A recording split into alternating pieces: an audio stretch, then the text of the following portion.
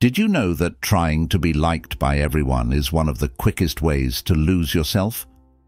It's a trap so many of us fall into, bending our actions, words, and even our values just to avoid the sting of disapproval. But here's the truth. The best path to real freedom is learning to accept that not everyone will like you. If you want to live authentically, confidently, and without the constant need for validation, you need to embrace this reality, because avoiding dislike is not only impossible, it's exhausting.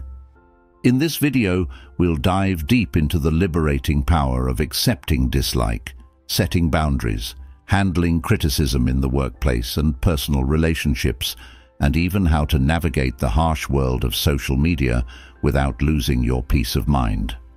Whether you're someone who's struggled with criticism or simply want to stand more firmly in your own truth, this journey will help you build resilience and inner strength.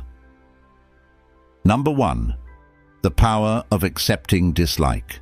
Imagine waking up one day and feeling free, free from the weight of other people's opinions, free from the constant need for approval. That kind of liberation is the key to living authentically pursuing your passions, and becoming the person you truly want to be. There's a unique power that comes with accepting that not everyone will like you, and that's perfectly okay. It's this acceptance that allows you to step fully into your own life, rather than living under the shadow of what others think. Think about a time when you were excited to share an idea or a part of yourself with others, only to be met with criticism or disapproval. Maybe it was that moment you posted something on social media and a wave of negative comments followed. At first, the happiness you felt, the joy of sharing, quickly faded away as the sting of others' opinions began to settle in. But imagine if, instead of being crushed by those comments, you were able to stay grounded, to accept that dislike and move forward with your head held high. How different would that feel? You see, when you learn to accept that not everyone will approve of your choices, actions, or even your very existence, you start to free yourself from the chains of people-pleasing. Acceptance is not about giving up. It's about understanding that other people's opinions don't define you. This simple shift in perspective holds so much power. Now, let's dive into this concept. Many of us grew up craving approval, whether it was from our parents, teachers or friends. We wanted to be liked, accepted and admired. It's a natural human instinct. We're social creatures after all. But somewhere along the way, this desire for approval can become overwhelming. It can start to shape the decisions we make, the way we present ourselves, and even the dreams we choose to follow. Do you remember that time in high school when you changed the way you dressed because a few people made fun of your style, or when you held back from speaking up in a meeting at work because you feared judgment. Those moments are rooted in the fear of being disliked. But here's the truth.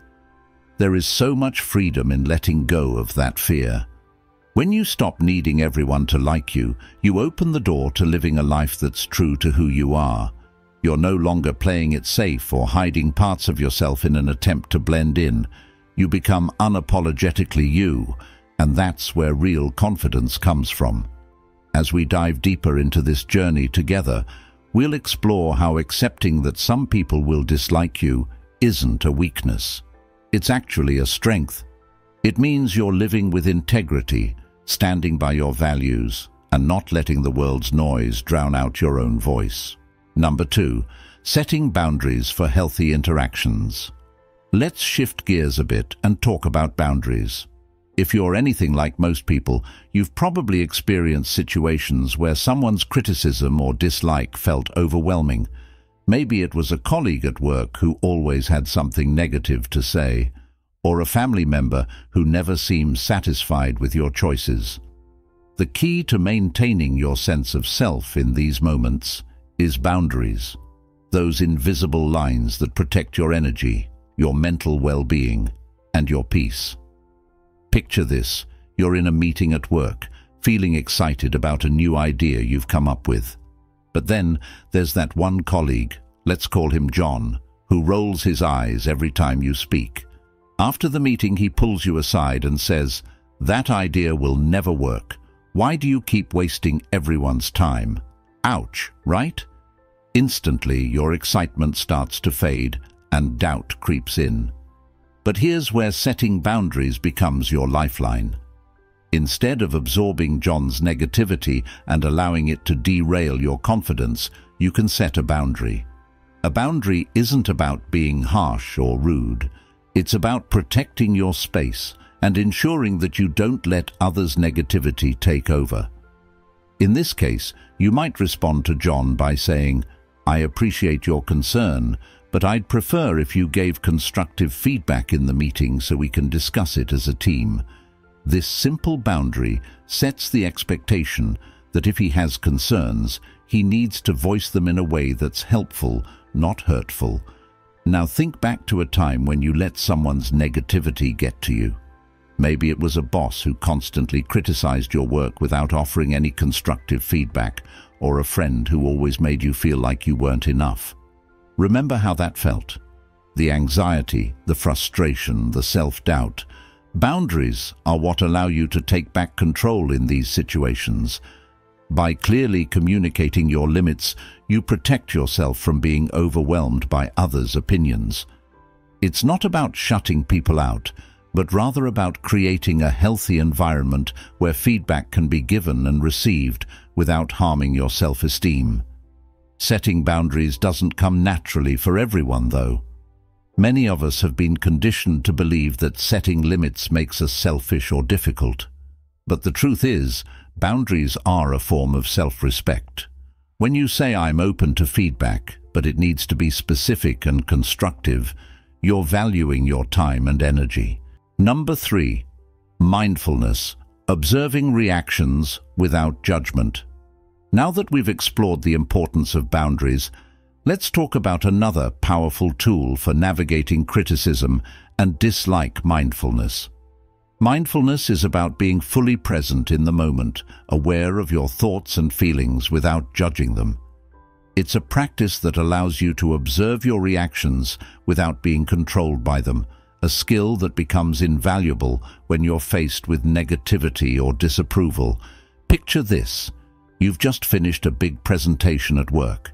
You felt confident while delivering it, but afterward you overhear a co-worker say, I don't think that presentation was very strong. Instantly you feel a knot in your stomach, your heart starts racing, and your mind begins to spiral with self-doubt. This is where mindfulness comes in. Instead of reacting impulsively or letting that comment ruin your day, mindfulness encourages you to pause. Take a deep breath. Notice how you're feeling, the tightness in your chest, the anxiety creeping up, the flood of negative thoughts.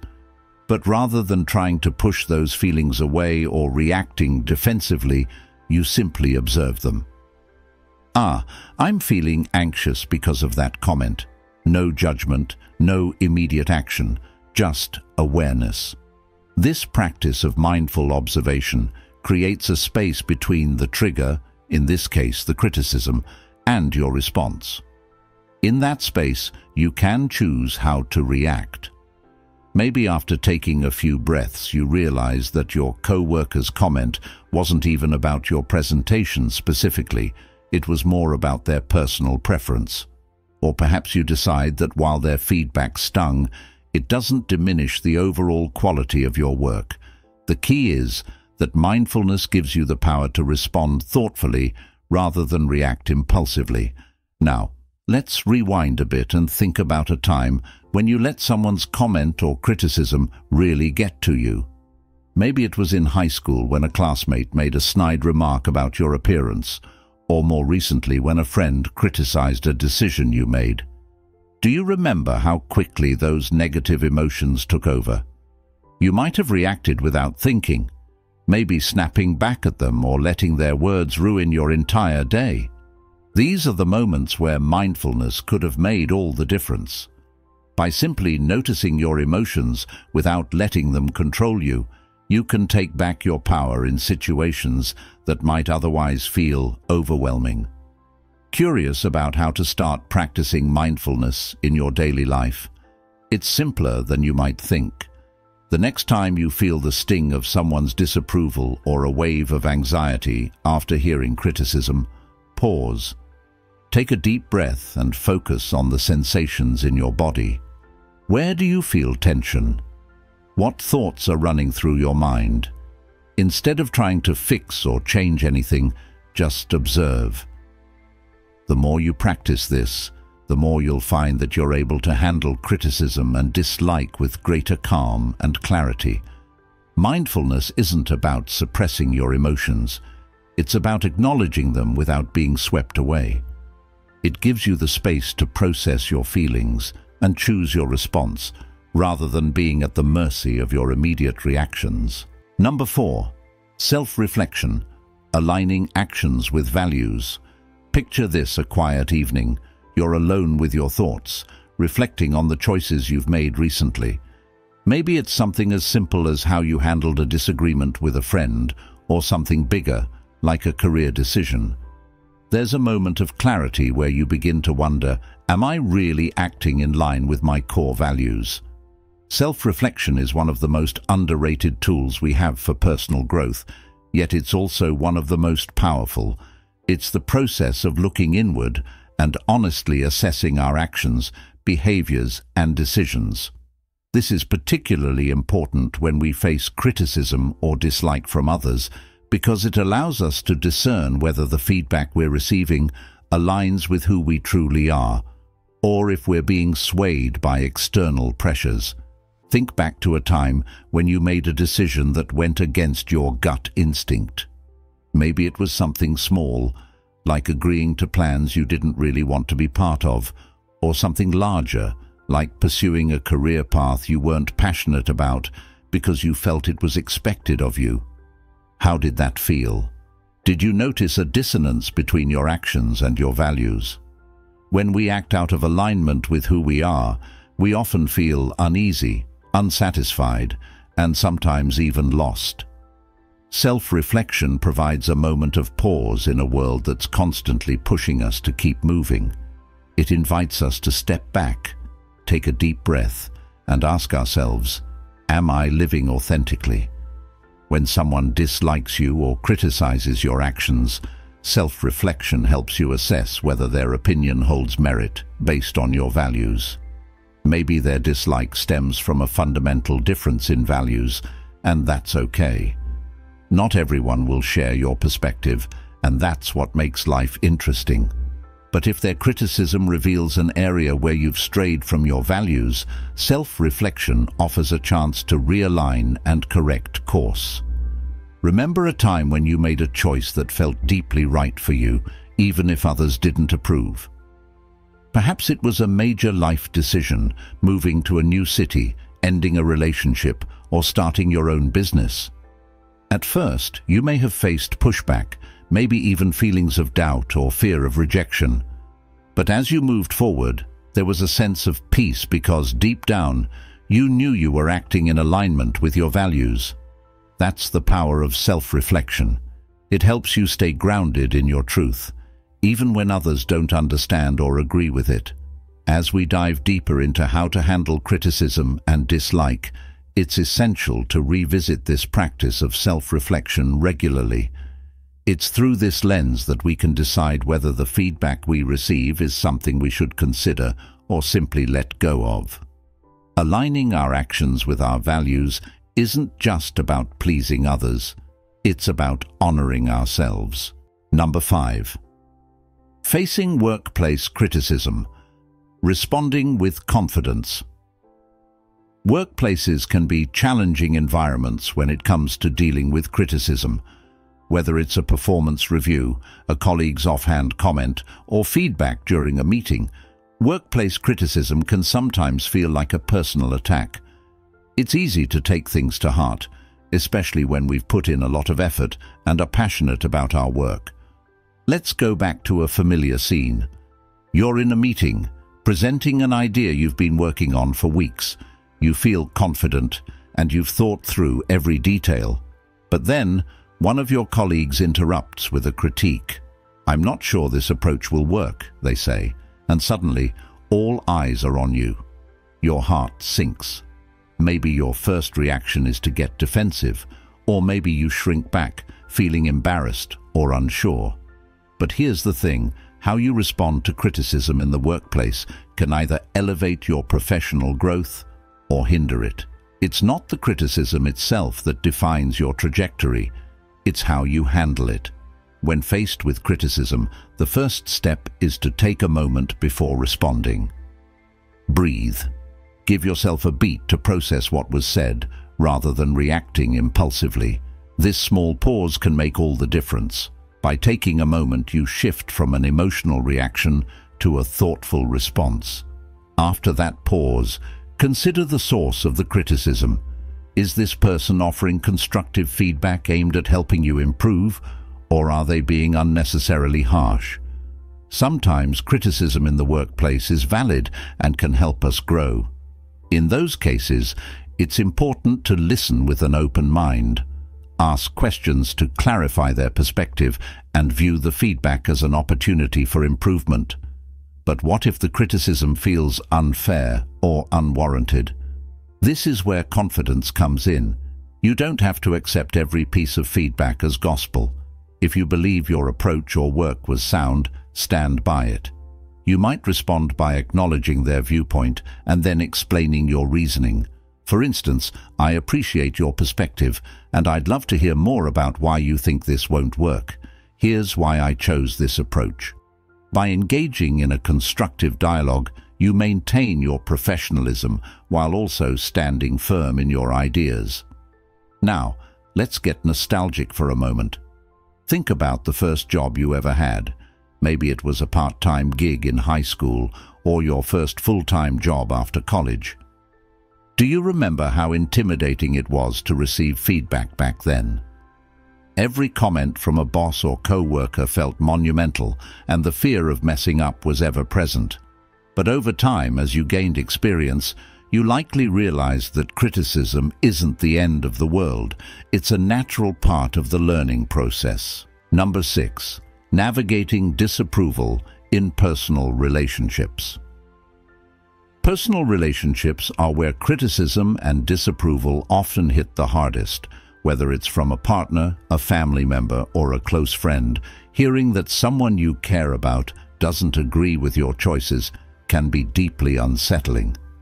These are the people who know you best, so when they disapprove, it can feel like a personal rejection. Think about a time when someone you loved criticized you. Maybe it was a parent who questioned your life choices or a partner who wasn't supportive of your career goals. How did that make you feel? Did you immediately go on the defensive or did you internalize their criticism and start doubting yourself? It's human nature to seek approval from the people closest to us, which is why disapproval in personal relationships can be so challenging. But here's the reality. Even the people who love us don't always have the same perspective or values. They may criticize or disapprove because they want what's best for us, but that doesn't mean their vision of what's best aligns with our own. In these moments, it's essential to remember that we're each on our own unique journey. Let's say your partner disagrees with a major decision you've made like quitting your job to pursue a passion project or moving to a new city. Their disapproval might come from a place of concern or fear of the unknown. While it's important to listen to their perspective, it's equally important to stay true to your own convictions. You might say, I understand your concerns, but this is something I need to do for myself. By acknowledging their feelings while standing firm in your decision, you show respect for their opinion without compromising your own values. In the end, navigating disapproval in personal relationships often comes down to clear communication. It's about expressing your thoughts and feelings honestly, while also being open to hearing theirs. Not every disagreement has to be a conflict. Sometimes it's just a difference in perspective. Now take a moment to reflect on a time when someone close to you supported a decision you made, even if they didn't fully agree with it. Maybe it was a friend who encouraged you to take a leap, or a parent who expressed concern but ultimately stood by your side.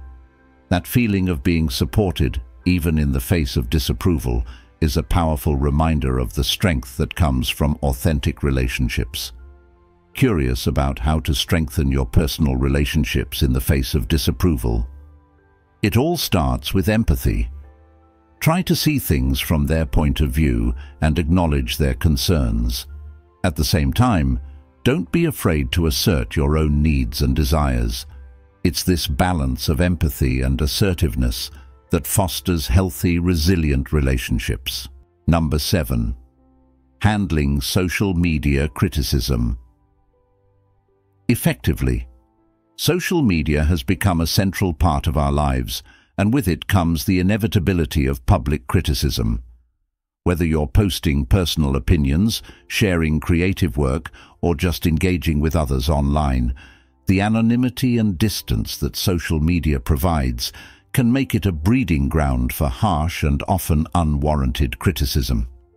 Let's be honest, receiving negative comments online can hurt, even if you know they're coming from strangers who don't know you personally. It's easy to tell yourself that their opinions don't matter, but when those comments hit, they can feel very real. Picture this, you've just posted something you're proud of, a new piece of art, a thoughtful opinion on a social issue, or even a photo of yourself. You're feeling great about it until the notifications start rolling in. Among the likes and supportive comments, there's a harsh critique. This is terrible.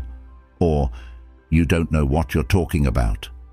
Suddenly, your mood shifts. That one negative comment feels like it overshadows all the positive feedback. When facing social media criticism, the first step is to recognize that not all criticism is created equal. Some critiques may be constructive, offering a different perspective or pointing out areas for improvement. Others, however, are simply negative for the sake of being negative. The key is to differentiate between the two. If the feedback is constructive, take it as an opportunity to learn and grow. If it's merely hateful or meant to tear you down, it's important to let it roll off your back. Think about a time when you posted something online and received criticism that felt unfair. How did you respond? Did you engage with the person or did you brush it off? One of the hardest parts about social media criticism is the urge to defend yourself publicly, but often responding to negativity only fuels the fire. Instead, consider taking the high road. Silence can be a powerful response, showing that you're unbothered by the negativity. Of course, it's natural to want to respond, especially when you feel misunderstood. In those cases, consider framing your response in a calm, thoughtful way. For example, I appreciate your perspective, but here's where I'm coming from. This approach can diffuse tension and show that you're open to dialogue without getting defensive. Now, let's get a little nostalgic. Remember the early days of social media when it was all about connecting with friends and sharing life's little moments. There was a sense of innocence back then, before the platforms became battlegrounds for public opinion. Today, social media is a much more complex landscape, and handling criticism has become a necessary skill, but here's the thing, just because criticism exists doesn't mean you have to let it control how you feel about yourself. At the end of the day, social media is just a small piece of the larger puzzle of life. The opinions of strangers online don't define your worth, and the more you remind yourself of that, the more resilient you'll become. Curious about how to build even more resilience in the face of social media criticism? Try setting boundaries with your online presence. Limit the time you spend scrolling through comments and remember to take breaks when the negativity feels overwhelming. By controlling your social media environment, you take back your power and focus on what truly matters. Number 8. Cultivating Inner Peace Amid disapproval, imagine this, you're sitting in a quiet room, away from the noise and opinions of others. There's a sense of calm that washes over you, a moment of peace where nothing outside of you matters. This is the feeling of inner peace, something we all crave, especially when faced with disapproval from others. Cultivating inner peace is not about avoiding criticism or dislike, it's about finding a way to remain centered, even when others disapprove of you. It's the ability to stay grounded in your own truth, despite external pressures. Let's be honest, finding inner peace amid disapproval isn't always easy. There are times when criticism feels overwhelming, and the weight of others' opinions can start to affect your sense of self. But here's where the power of inner peace comes in. It allows you to create a buffer between yourself and the outside world, a space where you can process your emotions without being consumed by them. Think about a time when you were criticized harshly. Maybe it was by someone whose opinion you valued, or maybe it was by a stranger. How did that criticism affect you in the moment? Did it shake your confidence or make you second-guess yourself? Now, imagine if you had been able to tap into a sense of inner peace during that moment. How might your reaction have been different? Cultivating inner peace starts with self-awareness. It's about recognizing when you're being affected by external criticism and choosing to respond from a place of calm rather than reactivity. Meditation, mindfulness, and even simple breathing exercises can help you build this inner resilience. These practices create a mental space where you can observe your thoughts and emotions without being swept away by them. Curious about how to start cultivating inner peace in your own life? Begin with small daily practices, like taking a few moments each day to sit quietly and focus on your breath. Over time, these moments of peace will expand, allowing you to stay centered even in the face of disapproval. Number 9. Building resilience. Through embracing dislike, resilience is one of the most valuable traits we can develop, especially when it comes to handling dislike and criticism. It's the ability to bounce back from challenges, to keep moving forward even when the road gets tough. Think about a time when you faced significant criticism or rejection. Maybe it was a major setback at work, a personal relationship that didn't work out, or a creative project that didn't receive the feedback you hoped for. How did you recover from that experience? What inner strength did you tap into to keep going? Resilience isn't about being unaffected by criticism. It's about learning how to process it and grow from it.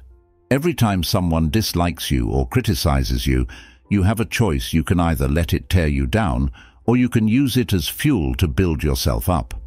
One way to build resilience is to reframe how you view criticism.